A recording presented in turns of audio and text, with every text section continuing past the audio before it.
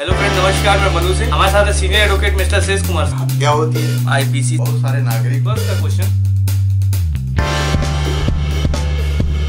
hello friends good evening so आज का नया टॉपिक जो है वो सीआरपीसी 1973 का है अभियुक्त के लाभार्थ प्रविधान जो कि हम श्री शेष कुमार सिंह जी एडवोकेट से uh, पूछेंगे। Uh, आप लोग प्लीज़ इस वीडियो को शेयर करिए लाइक करिए और जितना हो सके उतना लोगों तक पहुंचाइए ताकि अवेयरनेस फैल सके और लोगों को पता चल सके कि अगर किसी के साथ गलत हुआ है तो किस तरीके से वो इंसाफ लें। और बेल आइकन को ज़रूर दबा दीजिए ताकि अगर लेटेस्ट वीडियो आए तो आप तक नोटिफिकेशन पहुँच जाए। सब्सक्राइब कर लीजिए और शेयर कर लीजिए। तो आज का टॉपिक शुरू करते हैं सर से पूछने। सर ये सीआरपीसी का 1973 एक्ट आज आप बताने वाले हैं तो। उस पर एक्सप्लेनेशन हम आज ये बताना चाहते हैं जी।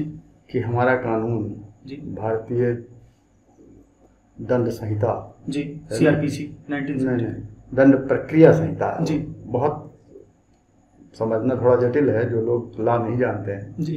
तो ये दंड प्रक्रिया संहिता और दंड संहिता में फ़र्क है। तो ये- ये सीआरपीसी नहीं है क्या? ये प्रक्रिया है वही सीआरपीसी है अच्छा अच्छा है ना? जी जी। तो इसमें अभियुक्त सिर्फ़ अभियोग लगने से कोई अपराधी नहीं हो जाता। जी।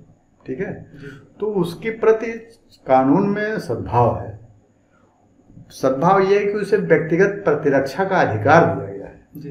वो दंड प्रक्रिया संहिता की धारा 303 में के तहत जितने अभियुक्त न्यायालय पर जाते हैं हम्म, पुलिस द्वारा चाहे रिपोर्ट के माध्यम से या स्वयं न्यायालय पर हाजिर होते हैं जी। तो उनको व्यक्तिगत प्रतिरक्षा का अधिकार दिया गया है। अच्छा। मौलिक अधिकार उनकी भी रक्षा की जाती है। धारा 20 भारतीय संविधान में हम्म, जो मौलिक अधिकार है स्वतंत्रता का अधिकार तो वो अभियुक्त को भी प्राप्त है। जी। उसको कोशिश हमारी सीआरपीसी उसके साथ सद्भावना रखती है कि वो अपने को निरपराध प्रमाणित कर सके। जी। तो पहली बात तो हो गई कि उसको व्यक्तिगत प्रतिरक्षा का अधिकार प्राप्त है। जी। 303 में जी। सीआरपीसी धारा। जी। ठीक? आगे देखिए। कोई पुलिस कोई कन्फेशन अभियुक्त अभियोग जिसके प्रति जिस जो अभियोग लगा है जी। उससे कोई कन्फेस नहीं करा सकती ज़बरदस्ती। अच्छा। मतलब कोई फोर्सफुल हाँ अगर पुलिस की कस्टडी में अगर पुलिस चाहे कि किसी से अपराध का कन्फेस करा ले जी।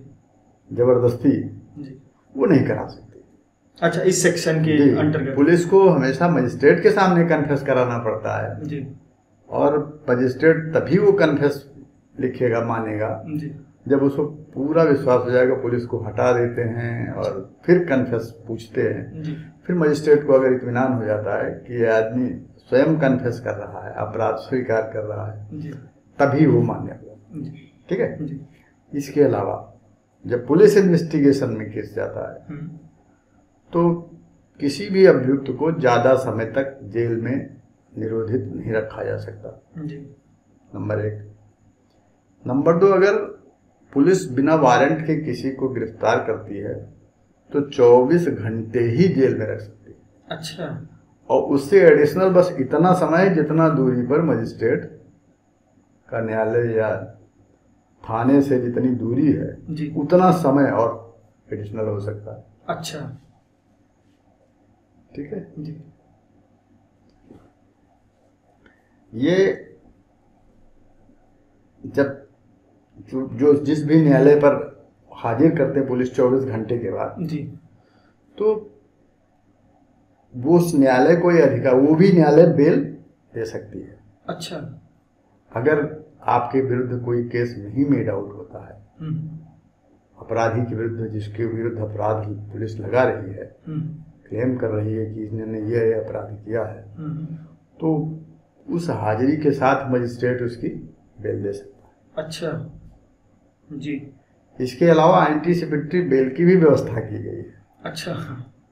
है ना? अच्छा। ये चैप्टर तैंतीस वो चार सौ छत्तीस सैंतीस अड़तीस हैं। जी। ये बेल से संबंधित प्राविधान है। तो इसमें एंटीसेप्टिव बेल का भी प्राविधान है। कि अच्छा। अगर पुलिस आपको झूठे तंग करती है अगर कहीं कोई दबाव में पॉलिटिकल या ऐसे भी होता है हम्म, हो सकता है। हम्म, जो कानून के निर्माता थे उन लोगों को इस चीज़ का एहसास था। जी। है ना? कि कभी भी ऐसा हो सकता है किसी के साथ जाति की जा सकती है। हम्म, ऐसी स्थिति में एंटीसिपेटरी बेल का भी प्रोविज़न है। अच्छा। प्रोविज़न है। जी। और अगर न्यायालय को ये लगता है कि आपके ऊपर सारे अभियोग फर्जी ठीक है? तो आपको एंटीसिपेटरी बेल भी दे सकते हैं, बिल दे सकते। हैं जी। इसके अलावा अभियुक्त जो है उसके ऊपर फोर्सफुली उससे कोई बयान नहीं कराया जा सकता। अच्छा। और अभियुक्त अगर जेल में है और वो कोई एप्लीकेशन देता है डॉक्टरी के लिए हम्म, तो ऐसे चिकित्सक से जो सरकारी डॉक्टर हो जिसकी डिग्निटी हो जिसकी मान्यता हो सरकार से हम्म, उससे पुलिस डॉक्टरी कराने के लिए मजबूर है उसे कराना है। अच्छा उस सर्टिफिकेट लेना ही लेना है। हाँ उसे मेडिकल रिपोर्ट लेनी ही लेना। बनवानी है। जी। ठीक है? जी। और इससे जो है वो अभियुक्त के को ये प्रमाणित करने में सुविधा हो जाती है कि जो अभियोग उसके ऊपर लगाए गए हैं वो सही है कि गलत ठीक है? उसका लाभ उसको मिल जाता है। तो ये पाँच छह पॉइंट ऐसे हैं जो आपके बड़े प्रासंगिक हैं। हाँ 1973 के हाँ। जिसके आधार पर ये अभियोग मतलब अभियुक्त के सद्भावना में बनाए गए। नहीं कभी कभी ऐसा होता है सर कि अ, मतलब पुलिस वाले भी मतलब हर कोई ऐसा नहीं होता लेकिन पुलिस वाले भी कभी कभी शैतानी करते हैं मतलब वो उनका नेचर अच्छा नहीं होता या फिर करप्शन तो आपको पता ही है कितना है अपने सिस्टम में तो उसके कारण इसीलिए ये ये ये कानून बनाने वालों ने पहले ही सोच लिया था। जी। है ना? जी। कि ऐसा ऐसा हो सकता है। जी। जब ये सब जो ब्रिटिश का ब्रिटिश रूलर थे इंडिया में ज़्यादातर उसी का उठाया हुआ नियम है। हम्म, है ना? हम्म, लेकिन उनको भी इस चीज़ का एहसास था कि ऐसा हो सकता है। हो सकता और तमाम होते भी। तमाम लोग फर्जी फंसाए जाते हैं। तो उनके लिए है कि उन, उनका हेरसमेंट ना हो किसी भी तरह से। जो। बेसिक थीम है वो ये है कि एक भी निरपराधी व्यक्ति को सजा ना हो। मतलब एक भी निर्दोष जो है उसको हाँ, सजा ना हो। भले एक क्या कहते हैं दोषी छूट जाए। छूट जाए। जी। सर ऐसा है कि तो काफ़ी सुधरने का मौका देता है ये। जी। है ना? ये कानून जो है अपना सुधरने ये का- सुधरने का मौका देता। है जबकि अन्य देशों में ऐसा नहीं है। हम्म। अगर चोरी किया तो हाथ काट लेंगे। हम्म। मतलब जैसा जिस तरह का अपराध उस तरह का दंड। लेकिन देखा जाए तो अपना मतलब एक ह्यूमैनिटी के हिसाब से बनाया जाए कि हाँ, आदमी से गलतियाँ हो हाँ। सकती हैं। नैतिकता भी उसमें बहुत पॉइंट है। और सद्भावना पूर्वक अगर आप कई अपराध करते हैं कोई तो वो क्षम्य पूरा। हम आगे वीडियो में बताएँगे कि आईपीसी की हम्म, जो एक्सेप्शनल है एक्सेप्शन है चैप्टर फोर में आईपीसी की दंड पर दंड संहिता वो दूसरी चीज़ है। अभी हम दंड प्रक्रिया संहिता पे आपको एक जनरल लो बता रहे थे। दंड प्रक्रिया संहिता बता रहे थे और दंड संहिता में आईपीसी में जिसके तहत सजा होती है ट्रायल होता है चार्ज बनता है। तो वो जो अपराध हैं है ना? उसमें मैं क्या बता रहा था आपको? सीआरपीसी 1973 बता रहे थे हाँ नहीं हम एक्सेप्शनल चैप्टर बता रहे थे। जी। चैप्टर फोर में ऐसे एक्सेप्शंस हैं। जी। ठीक है? जिसके आधार पर आप अपराधी होते हुए भी आप अपराधी नहीं हैं। जी। मसलन ले लीजिए आप सेल्फ डिफेंस में अगर आपको कोई मार रहा हो तो आप अपनी सुरक्षा तो करेंगे। उससे हो सकता है विपक्षी को चोट लग जाए। उसको एक उसको हानिकारित हो जाए। ठीक है? तो भी आपको डिफेंस प्राप्त है। जी। अगर कोई विकृत चित्त आदमी है अनसाउंड माइंड है वो कोई अपराध कर दे हम्म। उसके लिए कोई सजा मुकर नहीं है। उसको अच्छा। उन्मुक्ति प्राप्त है। जी। कोई शिशु है अबोध बालक है उसको नहीं पता है इनोसेंट है हम्म। वो कोई उससे कोई अपराध हो जाए अनजाने में। जी। तो उससे अभियोगी नहीं तो ये एक्सेप्शन है कोर्ट ये हम आपको अगला वीडियो जो बनाएँगे आईपीसी पे हम्म। वो हम चैप्टर फोर पे ही बनाएँगे। तो क्या क्या ये सर ये सीआरपीसी खत्म क्या से? अब हम लोग आईपीसी पे जाएँगे। नहीं नहीं सीआरपीसी तो बहुत है बहुत लाभ इंडिया का बहुत आनंद है। वो मेरे जैसा आदमी उसमें ज़्यादा एक्सप्लेन नहीं कर सकता बहुत ज़्यादा। लेकिन मैं थोड़ा थोड़ा कोशिश करता हूँ हम्म, कि जो सीआरपीसी के जो सेक्शन बचे हैं उस पर भी हम वीडियो धीरे धीरे दे देंगे कि हम्म। ठीक है हम ज़्यादा योग्य लोगों के लिए ये नहीं है। हाँ, मतलब सामान्य लोगों को लिए ये हाँ बहुत ज़्यादा इंटेलिजेंट लोगों के लिए नहीं अगर आप कुछ सजेशन देना चाहते हैं तो हाँ, व्यूअर से ये है तो- कि आप सजेशन दीजिए हम उसको बेहतर करने की कोशिश करेंगे। ये हम उन लोगों की मदद करना चाहते हैं जो लोग कुछ हाँ, नहीं पता कुछ है। नहीं पता है जो डरते हैं कानून कायदा से। बताते कचेरी में तमाम लोग आते हैं कि वो कि साहब हम तो बड़ा डर लगता है कचहरी हाँ ये तो हम इनको स्टूडेंट भी देख सकते हाँ, हैं हाँ, इसको इसको सामान्य आदमी समझ सकता है। कि हमारा कानून कितना सरल है और अभियुक्त से भी सब भाव रखता है। जी, क्यों, क्योंकि हम इसका कोई वो क्या कहते हैं उसको दुश्मनी जैसा व्यवहार करने का नहीं है। हम्म, हमारा कानून सद्भाव का है। जी। है ना? Helping और सद्भाव में आप कोई काम करें अगर आप बैड इंटेंशन ना हो आपका जी। तो वो कोई कार्य आपका आपराधिक कार्य नहीं माना नहीं माना जाएगा जी। मूल रूप से देखिए विधि की भूल तो क्षम्य नहीं है जी। कि भैया आपको कानून नहीं पता था इसलिए हमने कत्ल कर दिया ये अपराध कर दिया है ना? विधि की भूल लेकिन अगर तथ्यगत कोई भूल है चूक होती है तो उसके लिए हमारा कानून बहुत लिबरल है। जी। है ना? बहुत विशाल हृदय से मेरा ये अधिनियम बनाया गया है जो मैं तो वकील हूँ इसको थोड़ा बहुत समझता हूँ। जी। मुझे लगता है कि जिसने भी जब भी ये फार्म हुआ तो बड़े बड़े हृदय से इसको बनाया गया। जी। है ना? संकुचित दिमाग से इसके नहीं बनाया गया।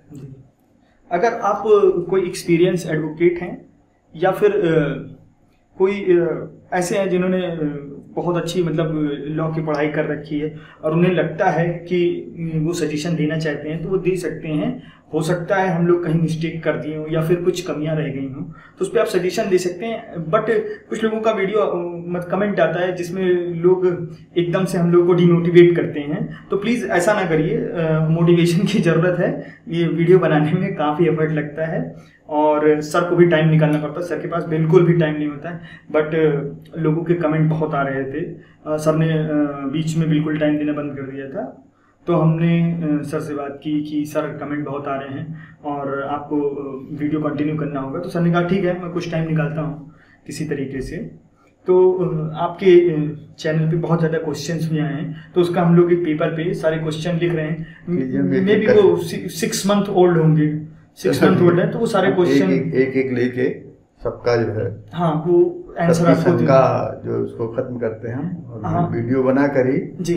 जिससे उनको समझने में आसानी हो। आसानी हो। बहुत से लोग नंबर चाहते हैं। एक्चुअल में ऐसा है कि इतनी ज़्यादा नंबर की डिमांड हो रही है और सर को वर्किंग आवर में कॉल हो जाते हैं। जैसे सर का टाइमिंग जो है वर्किंग आवर टेन से सिक्स तक है। तो उसके बीच में सर कोर्ट पे रहते हैं तब भी लोगों के पास सर के पास कॉल आ जाती है तो उससे काफ़ी डिस्टर्बेंस हो जाती है। तो इस वजह से हम लोग नंबर देने में थोड़ा सा क्या कहते हैं वो करते हैं कि नंबर ना दिया जाए। और जहाँ तक हो सके हम वीडियो के थ्रू ही आप क्वेश्चन पूछिए, आप कमेंट में पूछिए, या फिर फेसबुक पे पूछिए ट्विटर पे भी पूछ सकते हैं आप लोग। तो वहाँ पे जाके आप लोग क्वेश्चन पूछिए, हम लोग आंसर देने की कोशिश करेंगे। अगर किसी को हम लोग आंसर नहीं दे पाए तो उसके लिए सॉरी हम लोग आने वाले वीडियोस में ज़रूर देंगे। और सर से हम लोग कुछ तरीका ढूंढ रहे हैं ताकि आप लोगों की लाइव बात हो सके। नंबर तो नहीं दिया जा सकता क्योंकि लोग प्रॉब्लम में होते हैं और उनको अपने सोल्यूशन के सिवा और कुछ नहीं चाहिए होता है। उनको इससे नहीं मतलब है कि सर कहाँ पे हैं या कहाँ पे नहीं हैं। तो कहने का मतलब है लाइव सेशन चलाएँगे। तो लाइव सेशन में आप लोग क्वेश्चन डायरेक्टली सर से पूछ सकते हैं। और फ़ोन अगर आप लोगों को करना है तो आप प्लीज़ सेवन के बाद ही करिए। शाम के टाइम सात बजे के बाद सात या आठ बजे के बाद ही कॉल करिए और सर से क्वेश्चन पूछिए। तो सर हम लोग बनाते हैं सारे क्वेश्चंस के लिस्ट और फिर आपको देते हैं। और देते क्या मतलब वो पूछे जाएँगे आपसे। इसी वीडियो के सेशन में। और लाइव भी हो सकता है हम लोग कोशिश कर रहे हैं अगले संडे तक सर को लाइव लाएँ क्योंकि लोगों के क्वेश्चन बहुत हैं। और एक्चुअल में लोग सर परेशान बहुत होते हैं तो उस टाइम क्या होता है कि उनको बस एक चीज़ समझ में आती है कि सर आ, आप ही मदद कर सकते हैं। है ना? आप मे भी आप कोर्ट पे रहते हैं प्रॉब्लम होती है आपको लेकिन अब उसमें देखिए मैं सब जगह जा नहीं सकता। जी। इतनी दूरी पर कहाँ क्या काम है किसका जी। क्या ज़रूरत पड़ती है? बहुत ही बाहर से भी दो कुछ लोग मिलना चाहते हैं। जी। अभी कल ही कल ही एक क्वेश्चन आया हुआ है। किसी से कुछ किसी को मुझसे मिलने की ज़रूरत नहीं है। मेरे वीडियो से अगर उनको कुछ सवाल करना है तो हम उसका जवाब वीडियो बना के ही दे देंगे। हाँ आप क्वेश्चन पूछिए सर वीडियो में ही वो बता देंगे। सर को आपसे कुछ रिटर्न में नहीं चाहिए ना ही कोई क्या कहते हैं। कुछ फ़ायदे के लिए ये किया जा रहा है बस आपका फ़ायदा हो और इंडियन कम्युनिटी और स्ट्रांग हो और यहाँ का जो लॉ है और स्ट्रांग हो। बस इसी वजह से ये वीडियो बनाए जा रहे हैं ताकि लोगों को हेल्प मिल सके। जो इनोसेंट लोग हैं जिनके पास पैसे बिल्कुल नहीं हैं और जो कोर्ट में जाते हैं घबराते हैं उनके लिए। सो so, आज का वीडियो हम यही खत्म करते हैं। नेक्स्ट वीडियो में आपसे मुलाकात होगी। Thank you very much please video को जितना ज़्यादा हो सके शेयर करिए। लाइक करिए कमेंट करिए, और बेल आइकन को ज़रूर दबाइए ताकि आप लोगों को आने वाली वीडियोस के बारे में इंफॉर्मेशन मिल सके। Thank you very much thank for watching thank